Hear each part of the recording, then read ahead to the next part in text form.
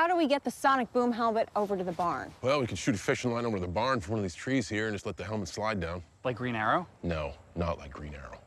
Like dude goes to brony conventions dressed in the back half of Twilight Sparkle with a four-inch wide butthole drilled in the costume. Maybe it's so we can breathe properly. You actually believe that shit? He has an insane story for every single superhero. No, I actually heard that's true about Green Arrow, but that's the first thing he said that's real. An Aquaman fucking fish. Well, yeah, obviously.